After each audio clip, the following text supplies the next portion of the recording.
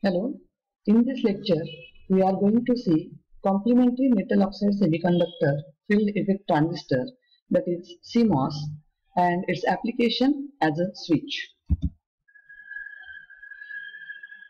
CMOS combination of NMOS and PMOS. One CMOS is formed by connecting one PMOS and one NMOS together as shown in the diagram. Here two gates are connected together to form one terminal, common gate terminal.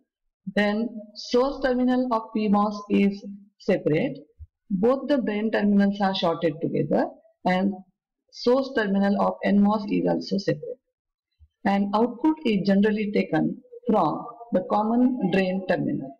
Thus, it will have input terminal as a gate, output terminal as a drain PMOS source terminal is generally connected to plus VDD and NMOS as source terminal is connected to ground.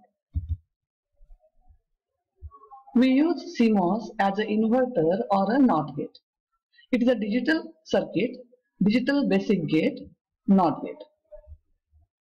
There is only one input which is provided through the common gate terminal of the CMOS. As I have already said, Source terminal of PMOS is connected to plus VDD power supply and source terminal of NMOS is connected to ground terminal and output is taken from the common drain terminal.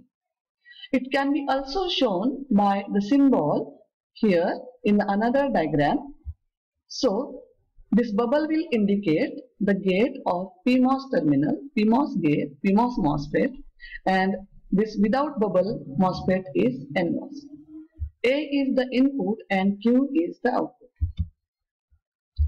We will see the operation of CMOS as inverter. When we provide input equal to 0, PMOS will switch on and NMOS will switch off as the gate is going to make PMOS on and NMOS off. Thus, as VDD is connected to the output terminal, output is equal to VDD that is for input equal to 0 output is VDD means logic 1. When input is VDD that is logic 1 PMOS will work as open circuit and NMOS will work as short circuit.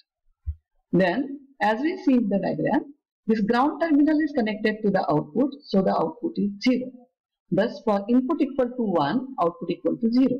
The same is represented in this truth table when the input is 0, Q1 is off, Q2 is on and output is VDD that is logic 1.